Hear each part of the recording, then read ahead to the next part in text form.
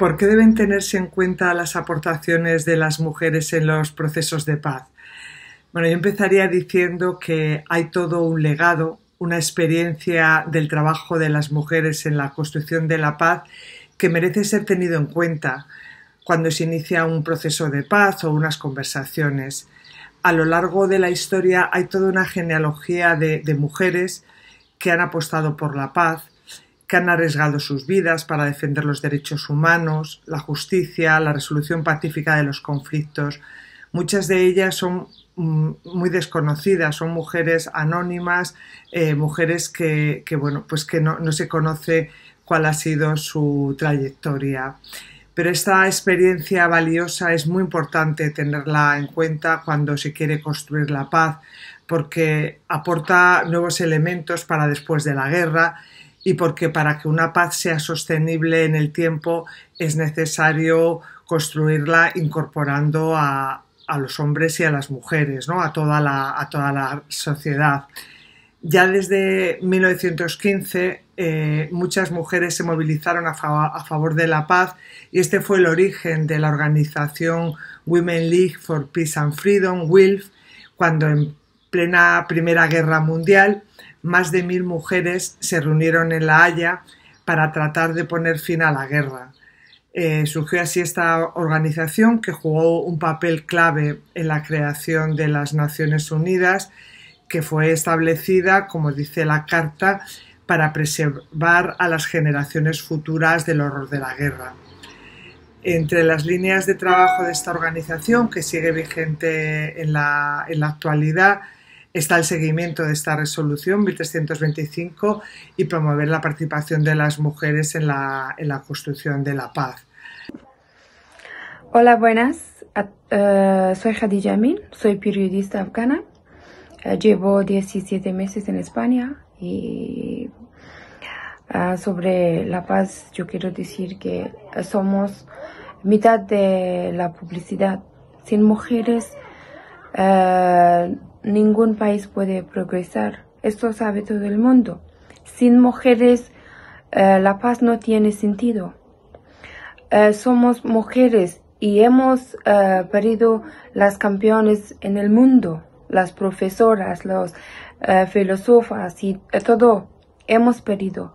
Entonces, nosotras somos muy importantes y somos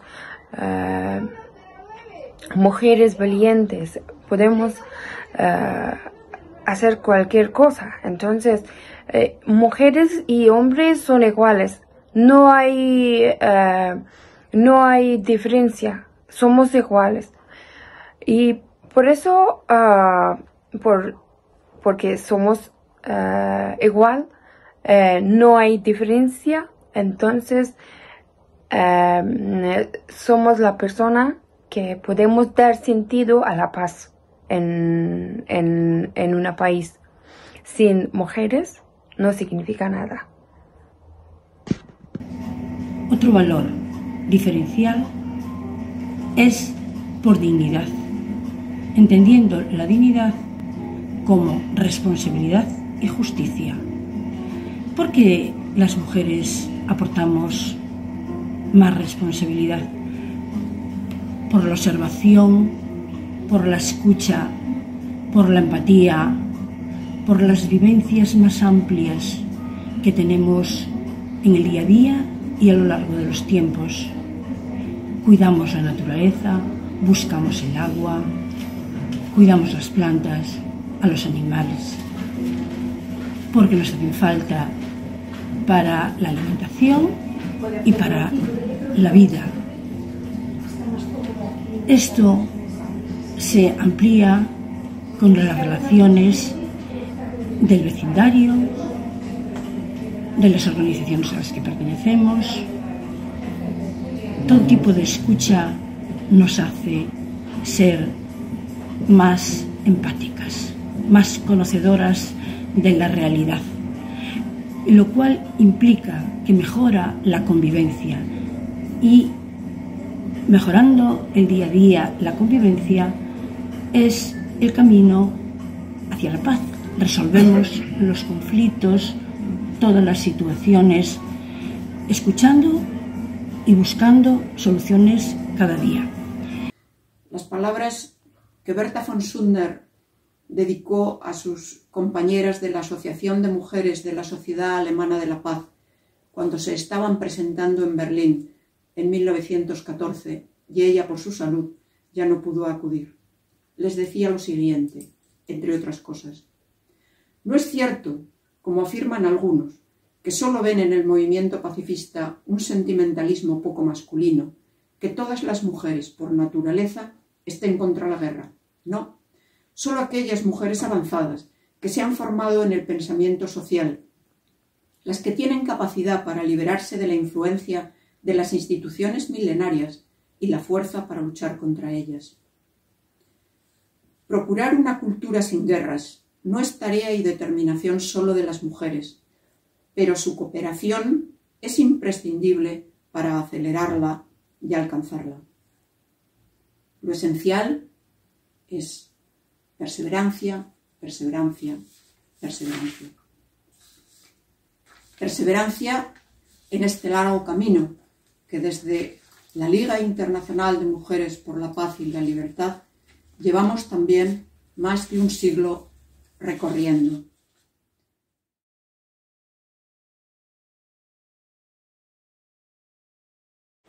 Saludo desde Colombia al juez, para nosotros juez, Baltasar Garzón, y a todas las mujeres y hombres que nos están escuchando. Soy Gloria Cuartas Montoya, soy trabajadora social y geógrafa. Quiero compartir la experiencia brevemente de ese rol de las mujeres ¿Qué hace diferente? ¿Cuál es el valor agregado que tenemos las mujeres en la construcción de la paz? No basta ser mujer en ninguna de las culturas.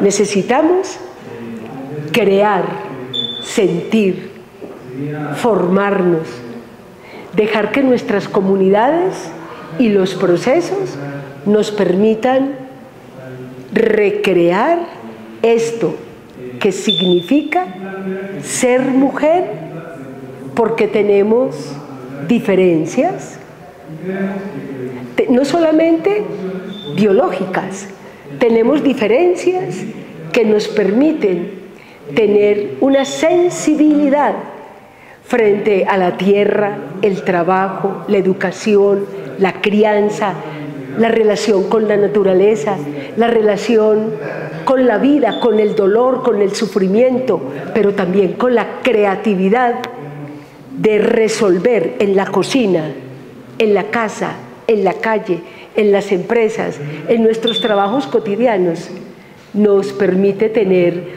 una posibilidad de,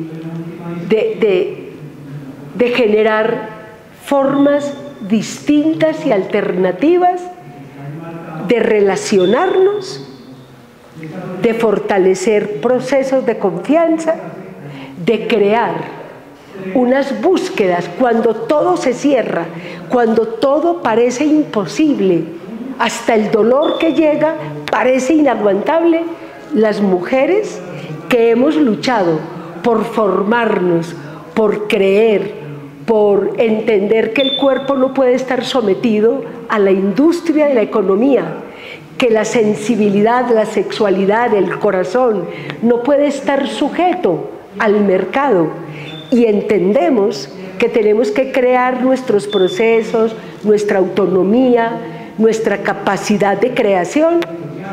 Esas mujeres somos distintas, porque no todas las mujeres somos iguales y no todas trabajamos por la paz.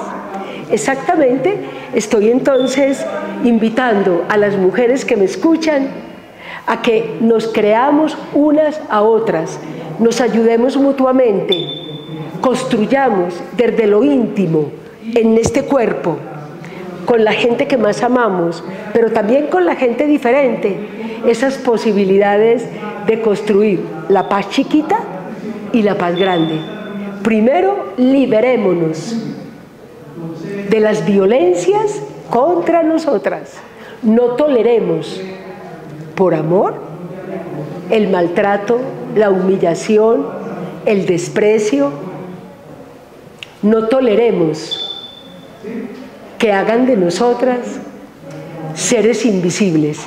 A todas las mujeres las invito a mantener un camino primero de trabajo interior, de liberación interior, para que podamos ser sobre